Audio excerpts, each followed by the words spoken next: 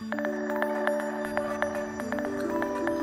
Hey, good to have you along with us. Temperature's not bad. We're looking at highs today in the low 70s, but it is mighty humid. Overcast gray skies. Live look from the Emerald Lawn Skyline weather camera, Harker Heights, Texas. Out to the west of us, we've got a dry line. It has been active again. It's always active in the springtime on a daily basis, but it is sparking off a couple of showers out around Brady and Coleman of that area, generally moving towards the east, but more towards the southeast. So I think perhaps down towards uh, Blanco, Austin, that area could see a shower or two before the evening is over with. What we're concerned with is this action going on down here in the Gulf of Mexico.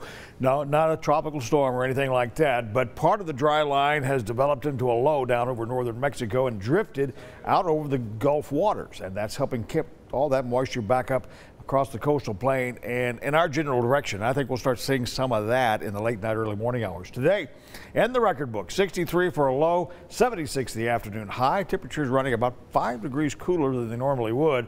No additional rain officially today. A couple of sprinkles here and there. Our year-to-date total now stands at better than 9 inches, but that's also better than 5.5 inches behind where we would normally be for the month of May.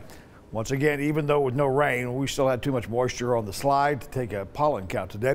Speaking of the rainfall, now this is over the last three days. Take a look at this. Better than half an inch officially in the Waco area. Now, this is satellite and Doppler estimated rainfall totals. Your mileage may vary, as they say.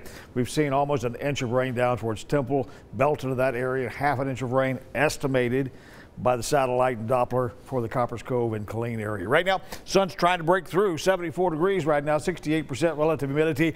Winds are going to be easterly throughout much of the evening tonight. That still brings in that moisture and sets up the possibility of some rain for us later in the evening. Dry conditions, sunshine out across West Texas tomorrow, cloudy and damp for us here along the I-35 corridor. South Texas getting a break from the rain they were seeing this morning as that low begins to push its way on back up the coast and basically in our general direction. For tonight, cloudy skies, 50% chances of rain. We'll keep rain chances in the forecast through tomorrow and for a couple of more days as that low kind of lingers. We'll make it to 79, so another humid afternoon for us, but I'm going to go 40% chances of drizzle uh, as we start the day and about a 20% chance of rain showers in the afternoon tomorrow. Better shot at rain could be in the picture for us on Friday, possibly into Saturday. Leslie, Chris? All right, thanks, Andy.